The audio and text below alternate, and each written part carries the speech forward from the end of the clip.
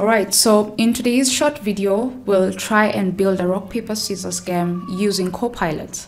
And hey, you may be thinking that I'm not a pro in Python or I've never written Python code before, but I think that's the beauty of Copilot because I see it as a tool that you can use to learn.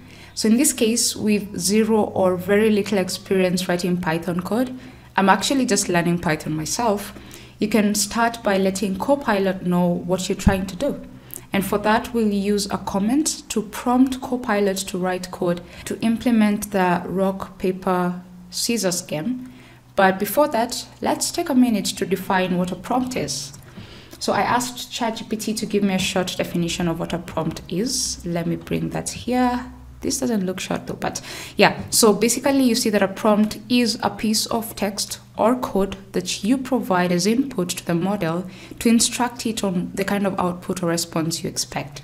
So basically, think of a prompt as either you describing a problem or asking a question or just giving specific instructions, and then the model will use that to generate code or text that solves that given problem or fulfills that requested task. So in this case, and let me drag ChatGPT to this other screen, you'll see that we'll use a comment as our prompt for the model and ask Copilot to write a rock, paper, uh, scissors game. So we'll do that through a comment, ask it to write a rock, paper, scissors, and see. It actually kind of gets what I'm trying to do. So I'll accept that prompt suggestion. I will hit enter and at this point, I really don't want to give it too much uh, information, but at the back of my mind, I do think that the logic of this game will definitely have some concept of randomness. So I'll now prompt Copilot to import the random module for me.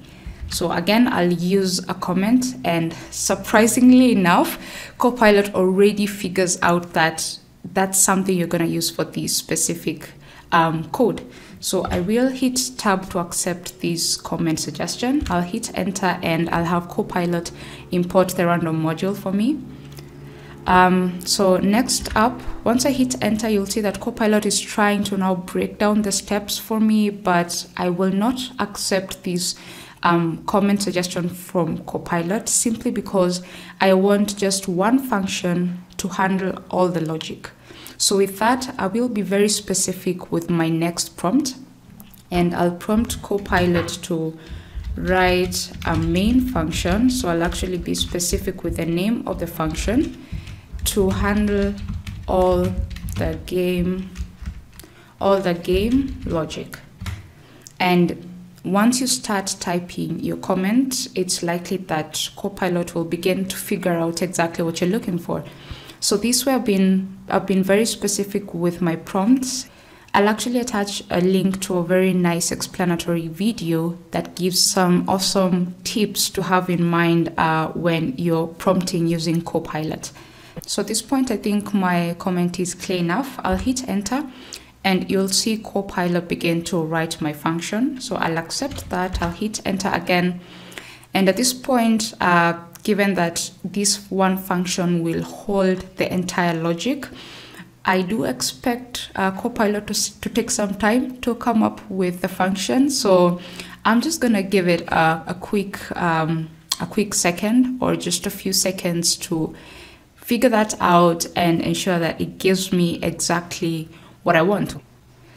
All right, there. So we can see that Copilot has actually come up with a huge chunk of code. And by the look of it, it looks to actually, it looks like it actually handles the logic of this game. And hey, it, it might take uh, more than a few seconds. So I think you can just be a little bit patient uh, with it, or you can just try and and push it by typing what you think should come next. Uh, so I think this looks good. And another thing to point out here is that you'd see that Copilot doesn't just return a chunk of code, but it actually accompanies this code with comments. And that's exactly what I meant by using Copilot as a tool that you can use to learn. So, in this case, if you've never written Python code, you can actually read in natural language the comment and see the code that implements um, what the comment describes. So, again, you can take a few minutes, just go through the code that has been provided through the comments, and you'll basically be learning um, this awesome language. So, this looks good so far. Hit enter and you'll see that Copilot is also smart enough to notice that we've just written our code inside the main function, but we're yet to call it. So that will be the last step to just call the main function so that once we run our file, it will execute the code inside this function. I will accept the suggestion and I'm also going to accept the code that Copilot has just provided. So at this point, I think our code is ready. Uh, let's go ahead and run it. I'll open up my terminal. I'll get into the right directory. So it's in the downloads folder and I will run our file called main.py. So last time I played this I was a pro, so let's see if that's still the case. I'll go with paper.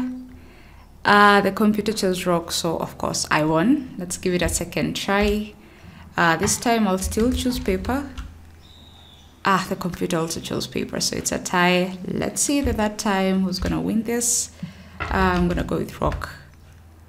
It's still a tie, alright, so I think I need to up my game. But yeah, basically that's how you can use a tool like Copilot to learn, do something you've never done before, and it's actually a fun experience. So do stay tuned for more such videos.